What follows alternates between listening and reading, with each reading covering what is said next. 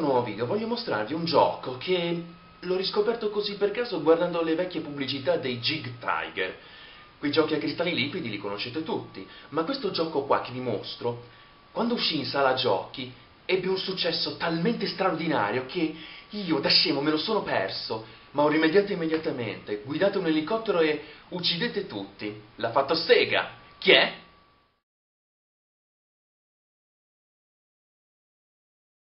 La casa giapponese Sega, quando all'epoca, verso la fine degli anni Ottanta, era una casa in piena espansione, rilasciò in sala giochi uno dei giochi d'azione più straordinari che siano mai visti negli ultimi vent'anni, Thunderblade.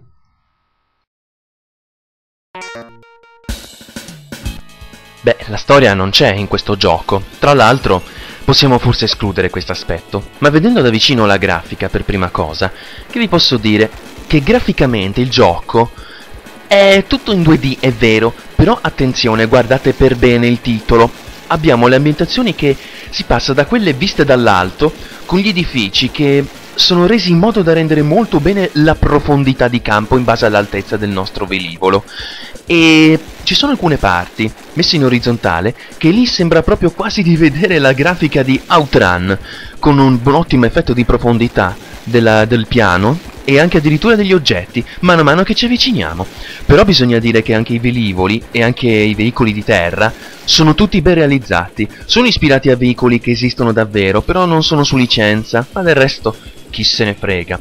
Poi graficamente il gioco non rallenta mai, neanche nelle situazioni più concitate.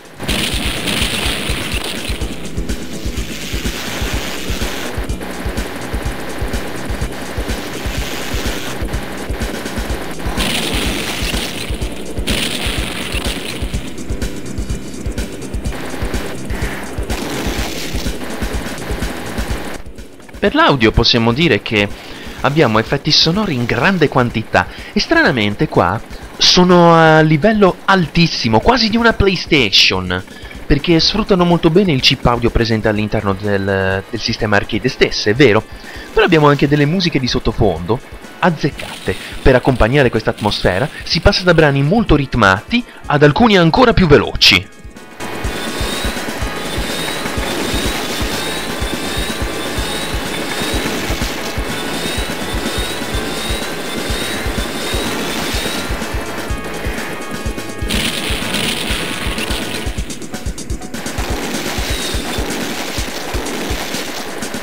Ed eccoci alla giocabilità.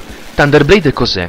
È una sorta di gioco d'azione in terza persona. Il nostro scopo è quello di muovere un elicottero e sparare a tutto ciò che ci capita davanti. È vero, potreste forse pensare che sia un gioco molto semplice, ma già dal primo livello capirete quanto è complicato. Il cabinato era strutturato in un modo. Avevamo un joystick che potevamo muovere l'elicottero sia in, ai lati che in avanti e indietro in base a come veniva posizionato il nostro velivolo o alla, dalla, visto dall'alto o visto da dietro.